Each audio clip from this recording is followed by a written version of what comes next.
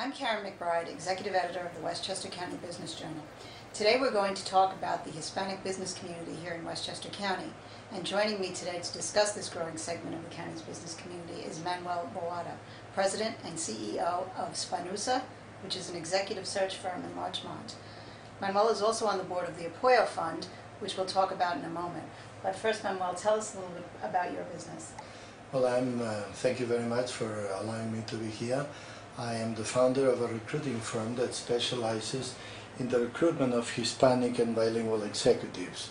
And I have done this for the last 15 years based on the fact that I saw the demographics were the, indicating that Hispanics will be a very important part of the US population. Mm-hmm. And I thought that it should be more fair the representation of Hispanics that shouldn't be considered only the gardeners and the cleaning ladies and the laborers because there is a great uh, amount of numbers, uh, highly qualified, well educated, that I think they can contribute to American society in the various ways in which they are already doing it.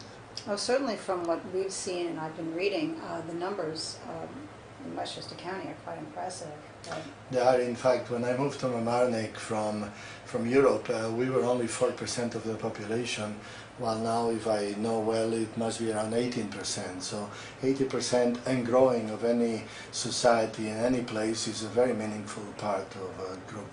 And in Westchester County, there's been rapid growth in both the population and the number of new businesses. Correct. And in fact, Hispanics uh, not only are growing at three times the speed of the general population, but Hispanic businesses also, both nationally and in uh, the county, growing very, very fast. And that, of course, means that they are creating jobs, they are bringing money to the economy, and that was revitalizes many places that before were not that active. So if people in the business community haven't yet taken notice, it's time that they do, and, and that's where, where you come in. It is, in, in fact, because uh-huh. you cannot ignore such an important part of the population. If you want to attract others, if you want to sell to them, you have to understand them. In any area of business, be it media, consumer, health, financial services, where you need to convince them or attract them or sell them, you have to understand them well. Well, Manuel, thank you very much for taking the time to talk with us about this important event and this important segment of our business community. Manuel Boado, President and CEO of Spanusa in Larchmont.